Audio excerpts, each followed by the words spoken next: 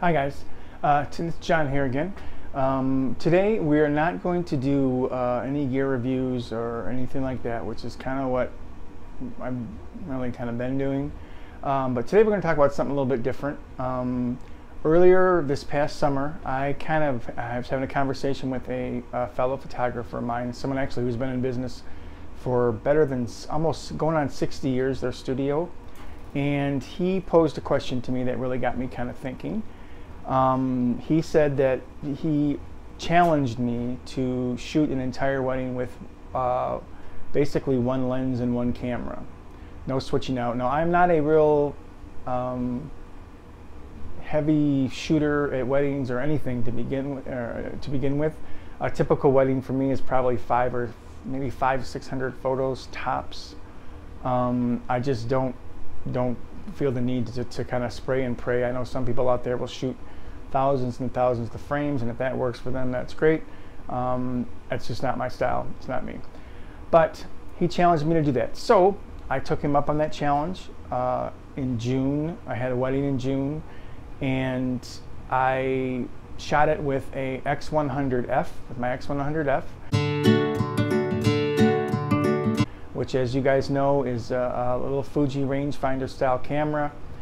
It is a uh, roughly a 35 millimeter equivalent. I think it's a 28, 23, I'm sorry, it's a 23 f2 uh, lens on it. It's a great little camera and a great lens.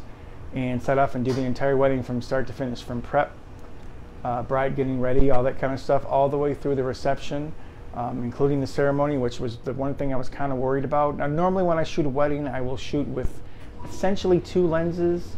I like to use the 18 f2 um, and I also uh, like to use either the 56 or actually I have this 90 now that I did a review on in the last video that I'm really really anxious to use because it seems like it'd be a perfect focal length for those two.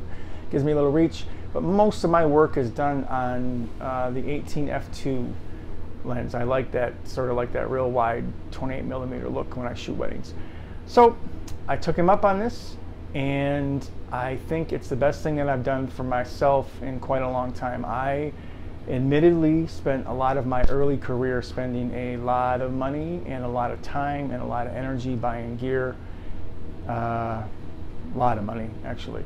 Um, and it actually stunted me, I think.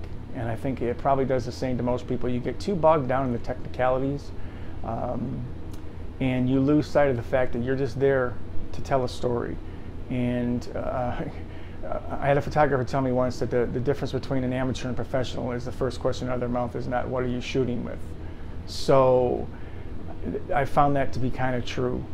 So uh, I'll, I'll, show you guys some pictures of the stuff I got with the 35, but more importantly, I want you guys, uh, I pose the same challenge to you guys. It doesn't have to be a wedding, of course, but take the next two weeks, the next month, one camera, one lens that's it. I don't care what it is. It could be a Leica M10 and a 50 Summicron, or it can be uh, a very basic starter kit with a, or I mean starter camera with a kit lens. It doesn't matter, but one camera, one lens.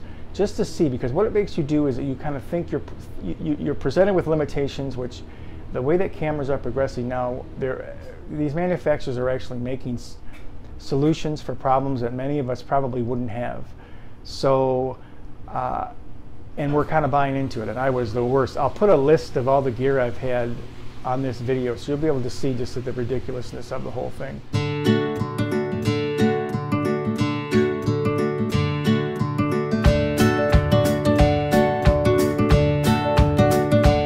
I learned more from this simplistic kind of approach than I have from anything else uh, I've done and but out or, or tried.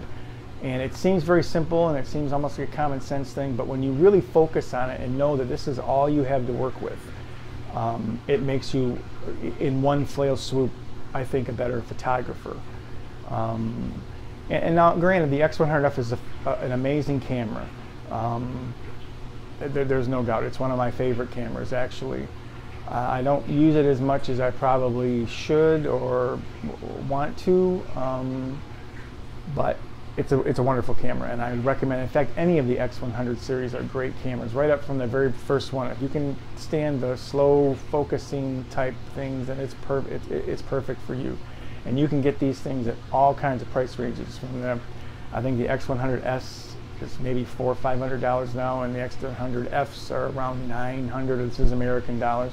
Um, but you know, it doesn't have to be that camera by it. It just worked out good for me because it had a fixed lens and I didn't have a choice to change it.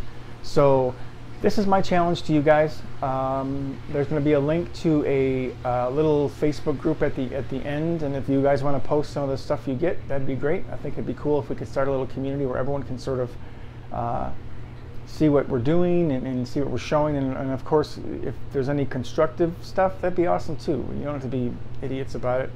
Um, but you know, the point here is to make better pictures.